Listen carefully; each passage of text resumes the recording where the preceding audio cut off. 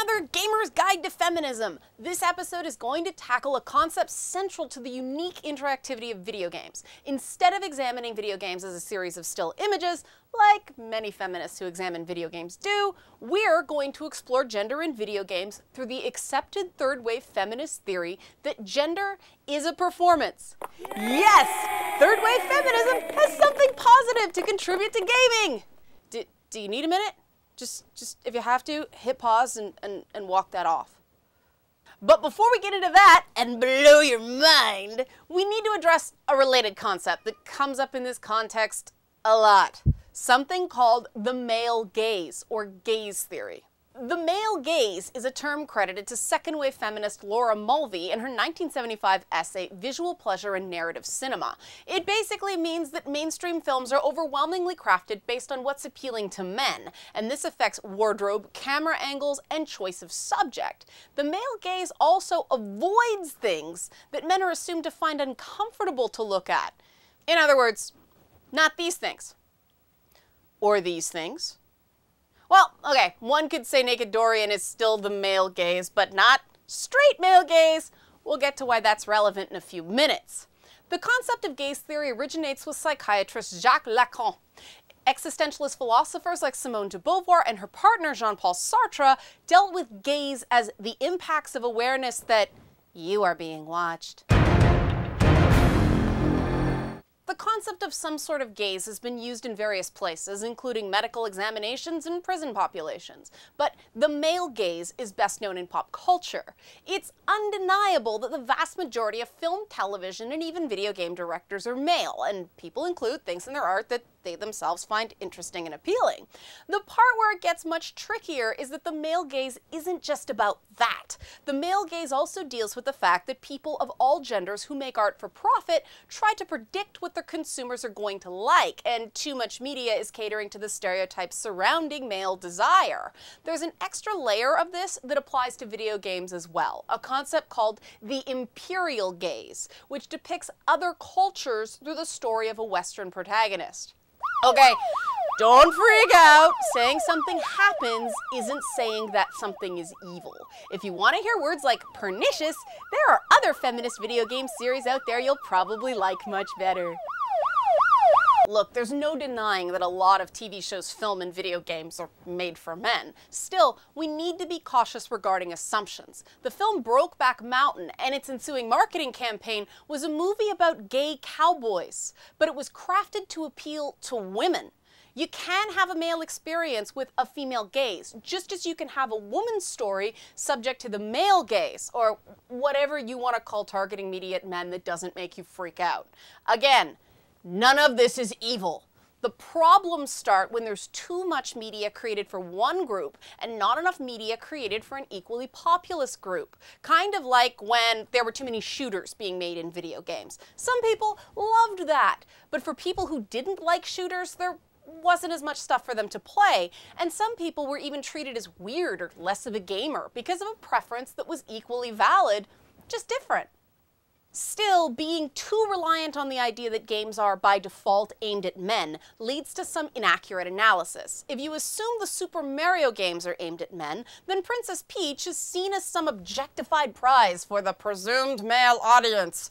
But if you take Nintendo's stated target of families as the baseline for analysis. The intent of Princess Peach is to give girls representation. If the Mario brand was created today, that would probably have been done differently. But it's undeniable that the stated audience for Nintendo's original Nintendo Entertainment System was families. Some proponents of the male gaze will claim that this is proof of an overriding male domination of society. But some little girls legit like pink poofy dresses. I don't get it. I hated pink when I was six, but I wasn't the norm. This presumed female preference for the color pink and the corresponding presumption that boys don't like pink can be instructive. Here's a standard game franchise marketed predominantly to boys. Here's Nintendo's marketing. Notice all the pink? We can't presume a male audience. In the 1970s, when Mulvey was writing, it was much easier to pinpoint the influences and outcomes in media. But at that time, video games looked like this. A huge shift happened in the 1980s, driven by two giant movie stars Stallone, Schwarzenegger, in Beefcake Cinema, Cinema, Cinema, Cinema. That was more monster truck than movie announcer. Anyway, Arnold Schwarzenegger was cast in 1982's Conan the Barbarian strictly because of his looks, and he needed extensive dialogue coaching because his English was inadequate for a leading role. Schwarzenegger's Conan is a classic example of reduction to body and reduction to appearance objectification. The thing that mattered to film producers was Schwarzenegger's muscles. It's important to note that both Schwarzenegger and Stallone used performance-enhancing drugs to obtain these hypermasculine physiques. They set a standard for other men that's impossible to achieve just through diet and exercise. Even when actors don't use drugs, the diets they're put on to achieve these superhero physiques are so extreme they cause side effects, including nausea, headache, and bad breath. And I'm not just talking coffee breath or morning breath. Bodybuilder breath is a unique kind of stank. This is where gaze theory starts to fumble. Based on male gaze theory's heteronormative paradigm, these beefy guys should be put in movies to appeal to women. But action movies are made predominantly for male audiences. If we follow male gaze theory, the implication is that men are aroused by these hypermasculine beefy guys.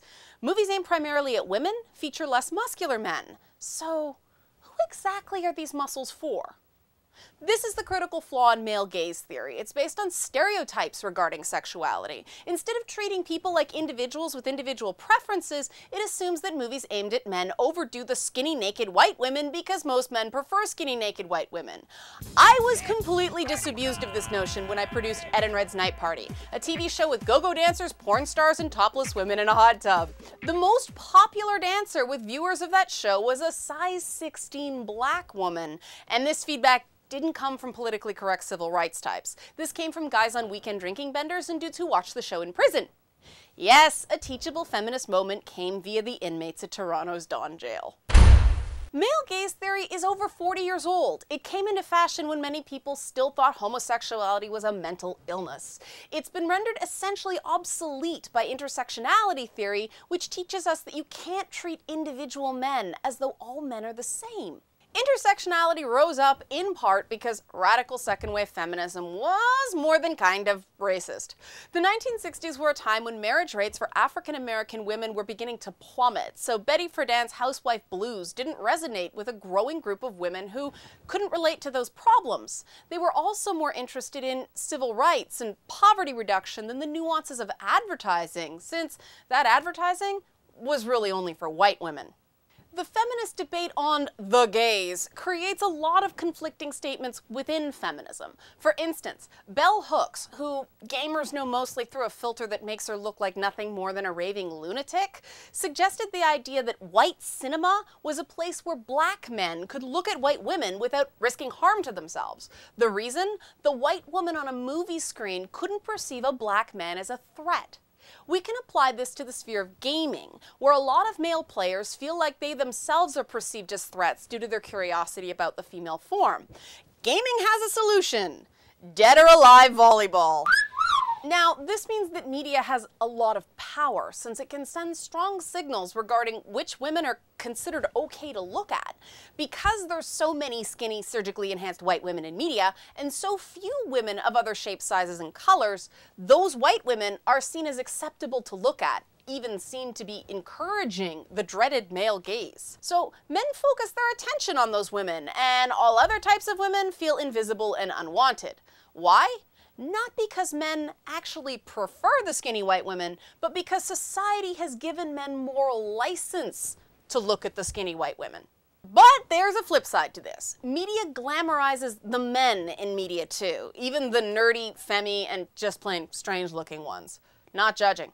This immediately gives these men status, and that status gives them the ability to reject lower status women, hence weird looking rock stars marrying supermodels.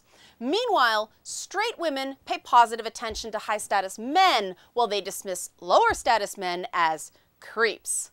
Guess what the low status women and the low status men have in common? Many members of both groups play video games. Hooks' oppositional gaze theory kicks in, and both groups use fantasy worlds to look at forbidden fruit in a safe setting. Add a multiplayer component, and that setting becomes much less safe, defeating the potential positives of this sort of gaze and leading to a great deal of conflict. You might have noticed there's no denying that some features are seen by society as ideally feminine and ideally masculine, but real people exists on a spectrum between and beyond these two waypoints. The art of drag, for instance, involves bold hair, makeup, and other gendered markers that allow a performer to perform in opposition to their everyday gender. That's what makes drag different than a person being transgender. Drag performers overshoot the feminine ideal and end up performing in a state of exaggerated femininity, which is why they seem to share makeup tips with Pamela Anderson and Lady Gaga. Actually, I think those ladies swipe their styles from the drag queens. All of this is gender as a collection of cultural identifiers that doesn't hinge on who's doing the looking or the person's actual genitalia. Welcome to Judith Butler's gender performativity theory. In her 1990 book, Gender Trouble Feminism and Subversion of Identity, Butler argues that gender isn't an identity. Gender is a performance. Butler rejected the idea of women as a class and argued that feminism, in promoting false commonalities among all women, had reduced the options for individual women instead of broadening them. Now, Gender Trouble isn't without its contentious statements. Butler decided to out de Beauvoir Simone de Beauvoir and claim that it wasn't just gender that was a social construct. Both gender and sex were social constructs. Yeah, not touching that one. Fortunately, we don't need to go there for purposes of video games, because there is no biological element in video game characters. We can use Butler's theories as a tool to look at gender in video games because the potentially goofy parts don't apply. So, how does this work? The idea is that there's no definitive gender identity. What we think of as gender is actually a collection of culturally accepted performances that signify gender. Gender, according to Butler, doesn't exist outside of expressions of gender. Essentially, gender is what you do as opposed to what you are. How does this apply to games? Let's start simple. Pac-Man doesn't really display any gender one way or another. We only know he's Pac-Man because of his name. Ms. Pac-Man, on the other hand, has lipstick and a bow on her head, which are clear signs of a female gender performance, and improved graphics that allowed those items to look like more than blobs.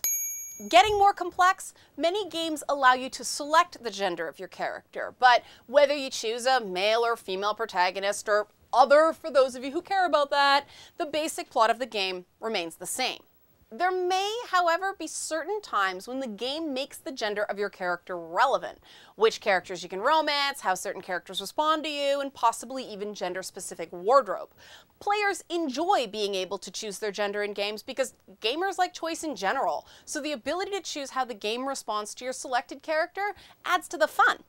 Some games, like the Saints Row series, even let you change your gender mid-game and allow you to pick a voice and clothing for your character that may or may not culturally align with your character's body parts. In other words, you could have a female character who wears a suit and sounds like Nolan North. In-game character genders are a collection of culturally recognized visual and audio cues, not sets of plumbing. The way a character runs, sits, stands, and speaks are all performances that signal feminine or masculine characteristics. But, as the bugs in Assassin's Creed Unity so helpfully reminded us, video game characters are all empty inside.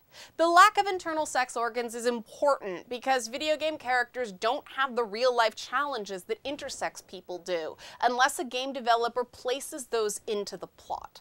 This is probably a good thing. If we view video game characters like real people from start to finish, then the process of character customization is a non-consensual medical intervention. Do you really want to go down that slippery slope? I don't. That's why I prefer to keep video games in the realm of art as opposed to hardcore sociology. Players don't really experience games through pronouns. Players experience games through actions. Too many things in video games are assumed to be for men, when in fact there's nothing about them that should inherently repel women. Still, many aspects of being a woman in video games are subversive gender performances, which is why some women are the most foul-mouthed trash talkers you'll encounter in multiplayer. This is unladylike behavior, and that's precisely the reason many female gamers do it.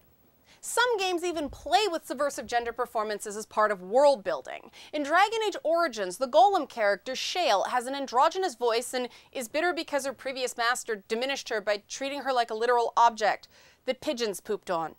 The player doesn't find out that Shale is definitively female until quite late in the game. There are also some video game characters intended to have no clear gender at all. The Toads from Nintendo's universe are a genderless race where individuals take on gendered characteristics. Toad and Toadette could be used to teach Judith Butler's gender performativity theory. But the most familiar use of gender performance in video games is as a shorthand to explain gameplay. This is especially true in early 8-bit console games that required storytelling with minimal words. To explain why a playable character had to perform various athletic feats while scrolling across the screen, games used familiar gender performances as a shorthand to package unfamiliar gameplay mechanics inside tropes a player could understand. The hero that saves the princess, the King Kong type gorilla that kidnaps a woman, and a mama kangaroo rescuing her Joey were all used to quickly communicate what the player was supposed to do in the early days of gaming when video game user interfaces were unfamiliar. Seen through the lens of gender performativity theory, the dreaded damsel in distress isn't a commentary on the natural state of women. It's just an extremely overused gendered performance. Butler encouraged people to perform subversive acts of gender that defy the traditional gender binary in hopes that these subversive acts will expand the understanding of masculinity and femininity.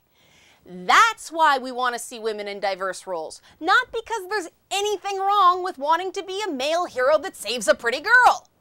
The first great subversive gender performance in video games was Samus Aran in the original Metroid. Players in 1986 didn't know Samus was female unless they beat the game in under 5 hours. When this condition is met, the player sees Samus without her helmet. Beat the game in under 3 hours, Samus is in a sort of bodysuit. Beat the game in under an hour, and Samus is in a pink bikini. Many feminists see this use of Samus's femininity in a negative light, since it's viewed as a sexualized reward for presumed male players. However, gender performance theory approaches it in a different light. This very feminine woman underneath that power armor is only revealed when a player helps her excel in a decidedly masculine role. It could be seen as a metaphor for anything boys can do, girls can do too. And those sexy ladies in video games are also a form of gender performance, tossing out the traditional feminine virtues of modesty and passivity all in one go in a defiant testament to feminine strength. Yes, they might be spank material in private moments, but while you're playing the game, that lady is your in-game avatar, your body in the game world. There's no evidence to prove that all men are choosing female avatars because of some sexual fantasy, as opposed to being curious about performing as a woman in a fictional realm, or because they just like her moveset. Video games have the potential to be a great way for people to explore gender, provided that influential people keep the process fun and don't try to make everyone miserable. I know, I know. That's exactly what a lot of feminist analysis does. Why do you think I keep making these videos with almost no funding? I don't like being told the stuff I like is evil any more than you do. For many gamers, male and female alike, subversive gender performances are part of the fun of video games. We can express parts of ourselves that result in negative judgments in the real world in a safe environment. The problem with feminist analysis of video games based on the so-called male gaze is that it places blame on male gamers for creative decisions they had no part in. Modern Western video games have become obsessed with the presumed male audience, so they're stripping out pieces of female gender performance in a benevolently sexist attempt to protect women. This is exactly the negative impacts of second wave feminism that Judith Butler warned against. Remember Conan and those superheroes we talked about off the top? They're a type of masculine gender performance. Men don't associate Conan the Barbarian with ridiculous musculature because they're all aroused by it. They make this association because society says that big muscles are an appropriate gender performance for male superheroes even though real life martial artists and athletes usually aren't nearly as beefy. In fact, that much muscle mass decreases flexibility to the point some bodybuilders can't even wipe their own butts before competitions. Don't ask me how I know that!